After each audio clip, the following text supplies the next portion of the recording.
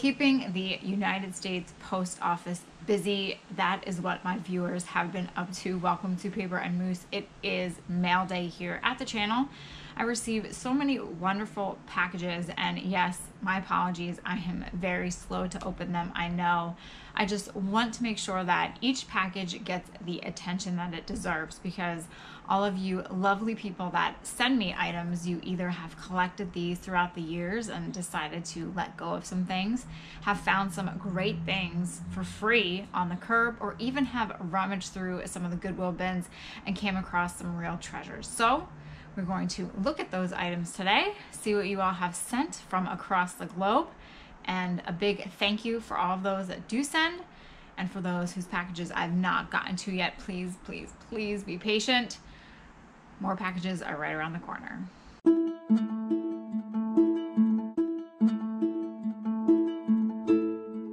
So yes, mail day. Let's start off, let's start off with this big guy over here. This is from Cindy in Kalamazoo, Michigan. Fun to say. I won't look inside yet. There is a card. We'll look at that first. Thanks so much. Those are cute. Um, just a few things to thank you for sharing your love of ephemera and history with us. I first um, connected with you through some mail sent to oh, Pirjo Blues, uh, not Taco Stacks. Yes, Pirjo, P I R G O Blues. She is in Germany and she does some amazing things with papers. She makes a lot of junk journals, which I still have to make one. But for those of you that are interested in junk journals, then be sure to definitely check her channel out. I will put a link in the description below for her channel. Um, she finds some really neat things at her flea markets as well. Um, I got hooked on your adventures and all the things you find.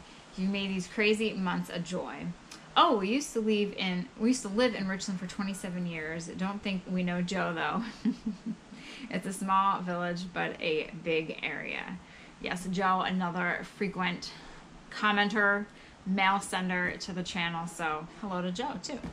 Um, thank you for what you do, Cindy. Well, thank you, Cindy, for watching. It is appreciated. All of you that watch, that share the channel, that comment, that like, all those little things add up, and I am so grateful because you have allowed me to do something that I really, really enjoy. So, let's see what Cindy has said. I thought I cut this off, but I did not.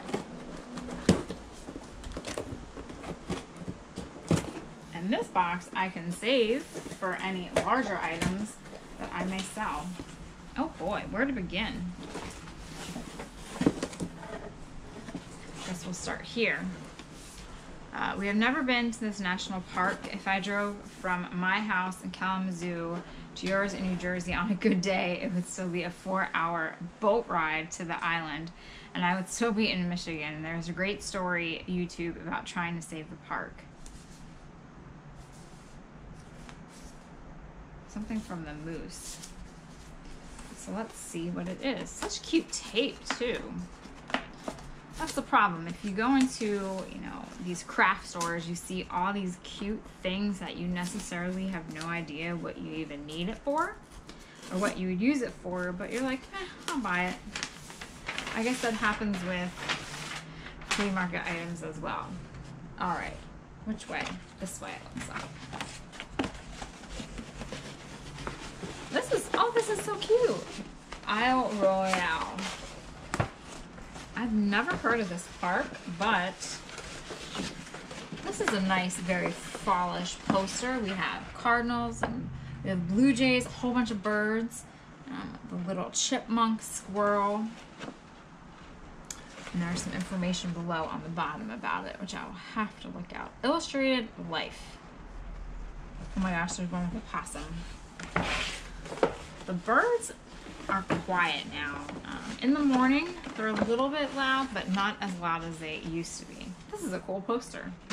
I will have to go to YouTube and look that up. Let's see. I'm new at this myself, but thought I'd send you something to get started. I bet you I know what it is. And it is. Whoops. Where'd that go? I don't think anything fell out. There it is. I felt it. Um, a start on her own junk journal. So yes, moose charm. That must have been. I'll have to look where it went. So yes, for those that have no idea what a junk journal is, this is a great example. So what you do is you take, you can take, you know, an old uh, book cover. Ooh, I like that paper inside. You know, take an old book, gut it out, or even keep the pages in, and you just make your own pages. You put these all sorts of different kinds of paper in there. Neighborhood Front.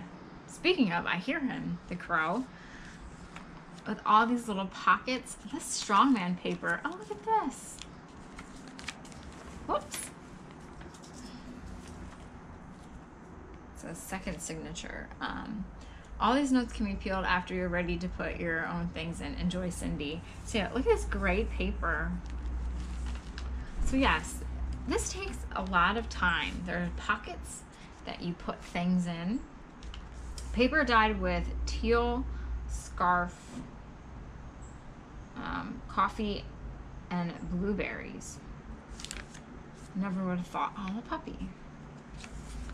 So this is what a junk journal is. People use them just to put their own memories in. Buffalo. Or they also make them to sell them, and then other people use them. But this is great. I mean, I think this is nice as it is. Oh, look at all those things. Decor for second signature, maps, national parks, date visited. Mm, you're giving me something to do now. That's really nice. Thank you so much, Cindy, for putting this together. I'm sure this has taken a lot of time. I love it. Now, like you said, I have something to try myself. A start a starter kit, which is NJ local history. Ooh, I'm liking what this is. Camp New Jersey um, Camp Dix, New Jersey, Camp Merritt. This is, oh my gosh. It's huge. Camp Merritt, New Jersey, United States Army Cantonment. That is great. I've never seen one like this. My arms, my arms aren't long enough. I was gonna say, I wonder what this looks like now. That's an easy fix. You just go to the interwebs. Davis Panoramic Photo Company. 1919. I have been to, um, for those that, if you're ever in the Sandy Hook area, be sure to not just go to the beach area there, but check out all of the buildings that are on Sandy Hook as well. You will be floored. That's really neat. Then she has the last things. Oh, these are all about the parks. This looks like Grand Canyon. I had I did go there. That was many, many moons ago. I would love to go back to the Grand Canyon. It would be great just to hop in an RV or some type of vehicle and just tour the United States you know, go see all the national parks, go to flea markets, auctions, estate sales, and all over because every area is so different. National parks, each one is different. That is true. Um, not same brands, but maybe some are like the ones you found in the trash bags. Exactly. Those purple ones are great. I know I still owe you all a fashion show. With this cooler weather, now I can actually do it. This will come in handy, Cindy. So thank you so much. That is, everything is greatly appreciated. And I love that junk journal. So now, yes, I have a start, start of my own. Next up, we have um, Joe. Speaking of Joe, I did not plan that. Um, our friend Joe out in uh, Michigan, who always finds great things. Dermis Moose, yet another item that needs to come home to with you. Your good friend Joe in Mich- Michigan. Yes, thank you, Joe. Joe somehow comes across some of the, of the best things I've ever, I've ever seen. And usually he finds them, you know, just out in the trash in a free pile. So let's see what it is. It's a postcard. Oh my gosh! Phillipsburg, New Jersey. If these color, if in these colors you believe, then put this emblem on your sleeve. Is that New Jersey? It has to be, yes. Oh, duh, New Jersey. I know there's another Phillipsburg. I think Kansas. This is great, Joe. Thank you so much. I I've never seen one like this. In the postcards that I've looked at in you know, my local flea markets, I've not found a PHS one. So this will be added to my own collection, and I can put this out during Thanksgiving when I bring out the Phillipsburg and Easton items for our big rivalry game. How did you come across this? It's so funny the way things make their way around the world. Well, thank you so much again, Joe. All of your finds are so appreciated. Next, we have this is from Uncle Gravy in Texas. Hi, this is some bits and bobs from a time that I sold stuff. I don't enjoy doing that anymore. I hope you dig them, Uncle Gravy. I think a lot of people that have been in this business for years and years and years, they also get tired of it as well. I was just talking to someone that, you know, they've been selling at the flea market for 25, 30 years and they just want to sleep in. I understand that. Oh, look how lovely he is. Macon, Georgia. There was a name on the back, you just can't read it anymore. He's very dapper. He almost looks like the um, the one man from Band of Brothers. I forget his name. May 1927. She is a maid, some type of maid, maybe a housemaid. Here's another one. Oh, they're both there. They're friends. With big barrels behind them. Can you imagine their life and what they did and who they were? And that's why I like pictures. And this is a lovely photo. Three men and a baby. Those mustaches, the hair, the clothing. I would love if we dressed like this again today though I'm sure those outfits would be very, very expensive. So now you have to wonder were the men just taking a photo with them and not, and not the mother or the grandmother, or did something happen to the mother? Maybe that's their little sister. I'm not sure, but that's a really nice photo. So thank you so much, Uncle Gravy. I hope you and you are enjoying your time away from not selling so that you can look back on your selling years with fondness. Next, it is from, we have this from Tina out in Ohatchee, Alabama. Ohoachi, oh, sorry. Sorry, Tina. Please do not get mad at me. Is there a letter?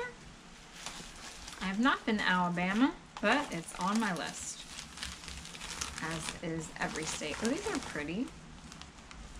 Let's see if there's a note.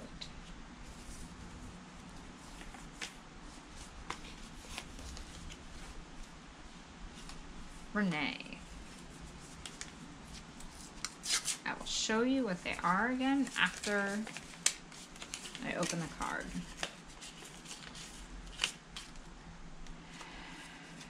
Renee, love your YouTube channel. You are so entertaining. Thanks for being so down to earth. These bobbies are from Lila Rose or Lila Rose. Feel free to go on the website and see what else is there. Your hair looks so cute short. I hope you will enjoy these. God bless Tina. These are rather cute. So we have bobbies or bobby pins, which I, I only have two in now. These are, I really like this one. It looks very Victorianish. We have a nice bow, this little doodad we'll call it, and these. These are great. These would probably look really nice in some of the outfits that I found in the trash. yes, bobby pins are my thing. Whether my hair is short or long, I always wear bobby pins. My hair is in another weird growing out stage. Um, there are some days when I want to just chop it and go back to short short, but I don't think I can. So I will play around with these I'm always experimenting, trying to find a new way to put my hair, and then I get frustrated and I end up just how it is now. But these are so nice. So thank you so much, Tina. I'll have to go on their website and check them out and see what else they have.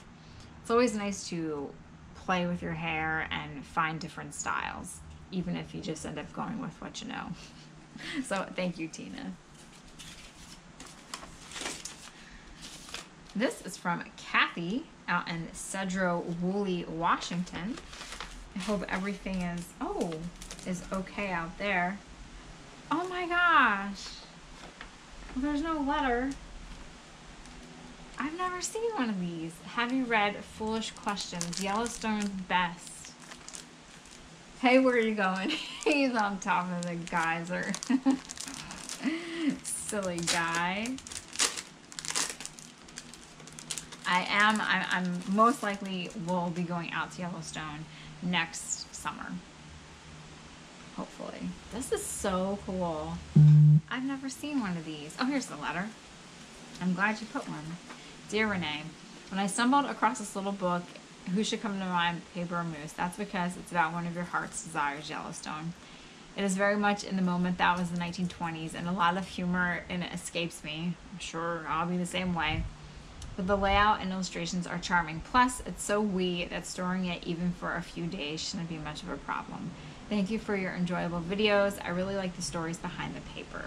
Kathy in Washington State. Well, thank you, Kathy. I will be having another history behind the paper. I found something at the flea market that I think will be um, easy enough for me to research. It won't take me months, so I'm going to start working on that. How cute. The beautiful, wonderful, the beautiful wonder world to see our Yellowstone. Those who go never went before, and those who went will go the more. That is true. The devil's playground. In collecting these bits of humor, I've tried to avoid all seriousness except in those statements specifically meant to be such. This book is an attempt to add to the enjoyment of your trip around the park by illustrating and setting forth a few of the many endless, amusing, and interesting queries. Huh. All right. People whom you should know. That's probably a fun one. Let's look at that one, number nine. Page nine.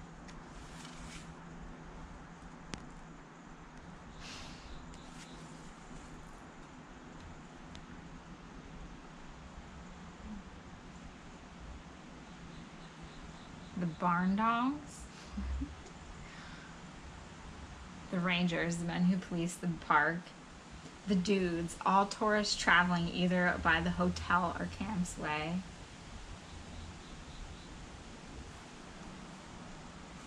Howdy, folks, the gear jammers, the men who drive the yellow cars. That would look great on a shirt. oh,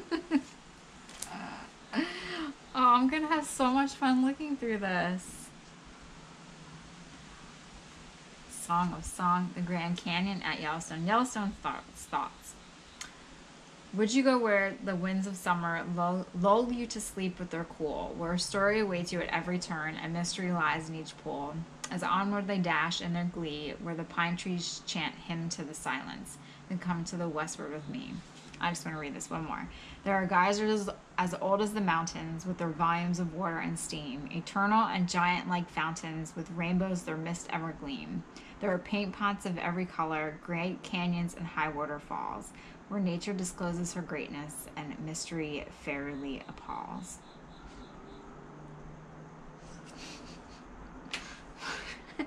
Satan operating a geyser. oh, this is so neat. I've never seen this in all of my travels, so I cannot thank you enough, Kathy, for passing this on to me. Really looking forward to reading this. All right, last but not least, we have from Judy in Tallahassee. Oh my, Tallahassee, Florida. Holy moly, Judy.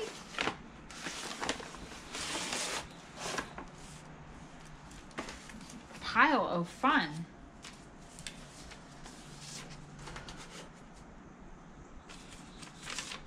Hi, Paper Moose. Sending, sending you some ephemera. Hope you enjoy the items I'm sending you. Take care, Judy.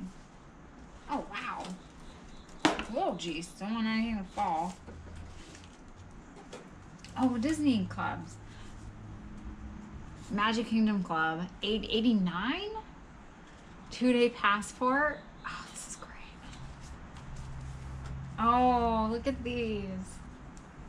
The Walt Disney World ticket books. When the rides had like a separate color and ticket for the each section. So this one would get you on the the D ticket would allow you entrance to the Tiki Room, Tom Sawyer's Island, uh, Liberty Square, the riverboats, the Skyway to Tomorrowland, Mickey Mouse Revue, which is not there anymore. Skyway to Fantasyland, those aren't there either. The Wedway, Mission to Mars, Starjets, Frontier Shooting Gallery, Gallery, Dumbo the Flying Elephant, my favorite ride. Oh my god, my goodness. My speech today. Probably because I need to eat. those are great, Judy. Oh, Grease. Grease is the word. That was a great movie. Look at our posters. Look at him. John Travolta. Frankie Valli singing. All these great maps. You think, I mean, people today still rely on maps when they travel. And I personally will still look at a map and not just rely on my GPS because I like to know where I'm going to turn or if there's a building here, a barn there. So I, I still look at maps, but you wonder how many people still do. The map, where is this? Oh, this is um Manhattan. So New York. Oh, Rosemary Clooney. Was she in Newsies? There's so much stuff. Oh, we have some sweet little cards.